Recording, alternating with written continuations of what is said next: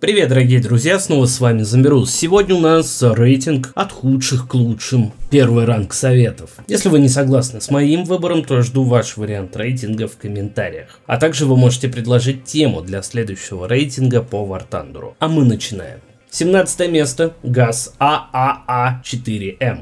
Ну что можно сказать про последнее место? Против самолетов Максимка что-то может. А вот против техники, к сожалению, нет. Только собратьев он может забирать, то есть зенитки на такой же колесной базе. На 16 место влетает ДШК. Эта зенитка довольно неплохая, вполне спокойно разбирает танки своего БР. И при этом сама колесная база довольно шустрая, даже по грунтам. Но пару пулеметных очередей в вашу сторону, и все, к сожалению, вы улетаете на выбор техники. Поэтому нужно действовать в стиле Хитмана, Сэма или Снейка. Отличная техничка, на которой весело гонять на первом ранге.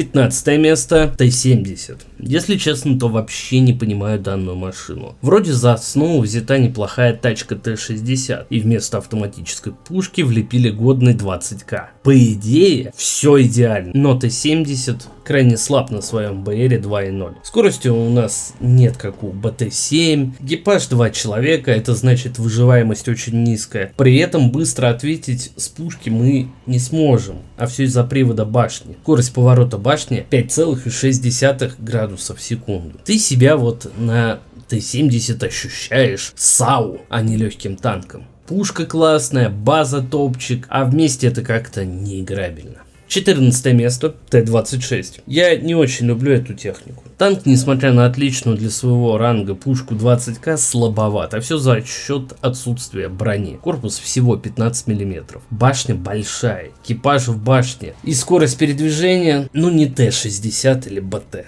Данный танк требует очень аккуратной игры, так как ваншота он ловит только в путь. 13 место Т-26-4. Это тот же Т-26, только с огромным 76 миллиметровым дрыном, который ультимативен на своем ранге, и в отличие от Су-5.1, у него огромный боезапас. Но проблемы ровно такие же, как у стандартного Т-26. Плюс к этому, по ощущениям, он еще медленнее, так как из-за установки более мощного орудия масса у нас возросла с 9 до 11 тонн. Пушка вытягивает данный танк, но это далеко не лучший танк первого ранга. 12 место М3 средний. Очень редкий танк Вартандера. Трофейный М3 можно было получить за победу в турнире в честь 23 февраля 2016 года. Или же в рамках ивента на День танкиста 2017 года. Сам по себе М3 очень спорный танк. С одной стороны, у нас два орудия, 6 членов экипажа, неплохая броня и относительно неплохая скорость передвижения. Но у нас огромный силуэт и М3 прям приманивает к себе снаряды периодически вы попадаете против США. И тут М3 становится жертвой закрута от саранчи, точнее локустов. И в такой ситуации вам нужно ждать, пока команда спасет вас. 75 миллиметровая пушка установлена неудобно имеет очень специфические углы наводки. Танк хорош при кемперстве или при прорыве обороны противника, но только если у противника нет быстрых маленьких танков. На 11 место попал редкий премиумный танк Т-26 экранированный. Его ранее можно было купить в составе начального набора в 2016 году. Танк с продажи сняли. Что точно можно сказать, что это самый живучий Т-26 в игре. На него налепили 30 миллиметровые экраны, из-за этого он немного потерял в подвижности, но чисто по ощущениям. Он пошустрее будет, чем 26.4. Экраны иногда отрабатывают на все 100%, но, к сожалению, они не закрывают весь корпус, и есть явные места, куда снаряд пролетит с легкостью. Например, снаряды легко влетают в погон башни. Это не КВ-1Б, но лишний раз пожить может, и не уносит с одного выстрела, как Т-26-4 и Т-26. Пушка стандартная 20к, ее хватает за глаза. Лично для меня это лучший Т-26, всем коллекционерам рекомендую. На десятое место попала очень странная САУ Су-51. У нас дикая 76 миллиметровая пушка образца 1902-30 годов. С камерником, который может пробить абсолютно все на своем БР и БР выше на любой дистанции. При этом за броневой у нас просто невероятно, а все за счет взрывчатки. Ее на секундочку 150 грамм. А еще перезарядка в районе 5 секунд делает эту пушку идеальной. Ну и все, а далее идут минусы. Это отсутствие брони, вас убивают с любого пулемета. Далее боезапас, у вас всего 8 снарядов. Что в идеальном случае хватит на 8 танков, а в худшем на 4. Скорость передвижения низкая и последний минус это очень открытая рубка. Самолет, арта или противник в спине это мгновенная смерть. Девятое место BM-824. Это машинка чистый фан. Маленькая, быстрая довольно мощная за счет дикого спама ракетами. Бронирование идентично Т-60. Экипаж такой же, два человека. Но если по вам попадут, то это смерть. На своем БРе ракеты себя показывают отлично. Главное привыкнуть к баллистике и углам наводки. И вот основным минусом этой машины являются горизонтальные углы наводки. Серьезно к данной тачке не следует относиться. Она создана для фановых заруб. А также с помощью этой штуки мы открывали Катюшу. Восьмое место. Т-48, он же Су-57 вторая доступная САУ на первом ранге советов. Возможно, на ней нет дикой 76 миллиметровой пушки, как у Су-51, но в отличие от Су-51 у нас есть скорость, более прикрытая рубка,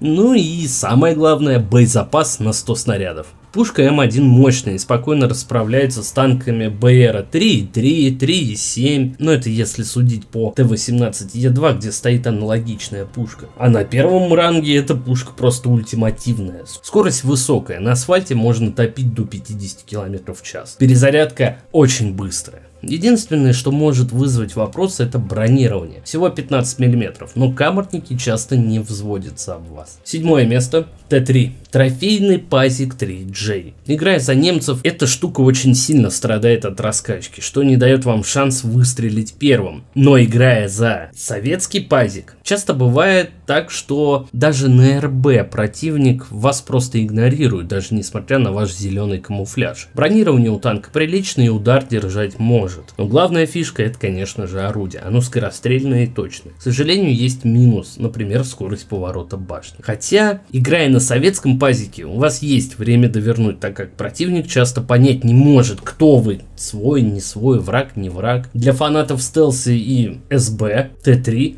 отличный вариант. Шестое место РБТ-5. Один из самых редких танков тундры. БТ-5, на которую установили огромные танковые торпеды весом 250 кг каждая. Очень злые фугасные снаряды, которые по идее разрывают любой танк на любом БРе. Но после того, как убрали возможность стрелять с нулевого градуса, для эффективной игры с этими торпедами вы должны стать богом вычисления траектории полета. И если вы умеете стрелять из Брумбура или Катюши, то проблем у вас не будет с этим. А для всех остальных, кто не умеет вычислять по калькулятору, как стрелять из этой штуки, это отличный танк, так как БТ-5 даже с полтонны сверху остается БТ-5. Пятое место занял АЕК от мира Тундры это Т-60.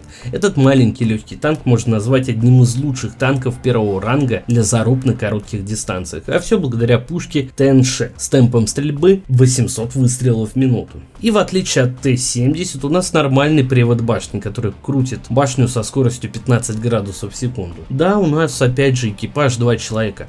Но в целом выживаемость высокая за счет пушки, привода и размера ленты. К сожалению, есть две проблемы. Первая – пробиваемость на дистанции. Пробитие на дистанции в 500 метров всего 27 мм, что иногда может не хватать, особенно против итальянских танков. Вторая проблема – это перезарядка в 21 секунду. Но если учитывать данные проблемы и работать только на коротких и средних дистанциях, вы будете крайне эффективны. Четвертое место влетает Т-34 на минималках Т-50. По факту этот танк очень схож по поведению с БТ-5 или БТ-7, то есть требует крайне агрессивной игры. Но в отличие от БТ у вас есть броня под рациональными углами наклона. Единственное, что мешает назвать этот танк супер выживаемым, это компоновка экипажа. Он сидит плотно, три человека в башне, и если камерник попадет в башню, которая является самым слабым местом этого танка, то вы улетаете на спаун. Пушка 20к на БР 2.7 уже не такая ультимативная, хотя есть подкалибер, который немного вытягивает пушечку. А вот башня не быстрая. Но в целом танк отличный. Он быстрый, силуэт небольшой, броня на уровне. Почетное третье место занимает хрущевка на гусеницах Т-35. Этого мастодонта можно назвать одной из самых неубиваемых машин первого ранга. Да, возможно, эта штука не самая быстрая среди своих собратьев, но выживаемость на космическом уровне. Но не за счет брони, а свободной планировки, внутреннего пространства и 10 человек экипажа. Из вооружения нам доступны две пушки 20К и огромное 76 миллиметровое орудие КТ-28. Снаряды на всех пушках классические советские камерники, которые не имеют проблем с пробитием или заброневым. Как прям танк очень фановый, я лично его рекомендую к покупке. Каких-то минусов у Т-35 ну просто-напросто нет. Настоящий танковый дренноут. Второе место. Если Т-50 был Т-34 на минималках, то 126 это Т-50-03. И если выбирать что-то на БР 2.7, то вместо Т-50 я лично возьму Т-126. Да, он немного медленнее, но брони-то больше и немного иная компоновка экипажа. В отличие от Т-50, башни у нас два человека, и попадание в эту слабую по бронированию зону не будет смертельным. Если вы попадаете в топ на этом танке, то себя ощущаете как КВ-1Б. Пушка 20К, и как ранее было сказано, на БРе 2 и 7 начинает уступать другим советским пушкам, но это не значит, что она не пробивает. В целом, Т-126 для меня лично на 3 головы лучше Т-50. Первое место. Банально, но на первое место влетают два танка, БТ-5 и БТ-7, которые оба заслуживают первого места. Бешеные колесницы смерти, которые уже в первую минуту матча начинают окучивать спауны противника даже на шестом ранге. Да, у танка слабое бронирование, но скорость и пушка 20к вытягивают и плотную компоновку, и 15 мм брони. Про эти танки даже нечего сказать, так как это банально лучшие танки на первом ранге совета. Высокая скорость, маневренность, отличные камерники и нормальная скорость поворота башни выводят БТ-5 и БТ-7 в статус легенды. Но думаю на этом все, дорогие друзья. Большое спасибо, что смотрели. Подписывайтесь, комментируйте, ставьте лайки. Увидимся на поле боя. Всем удачи, всем пока.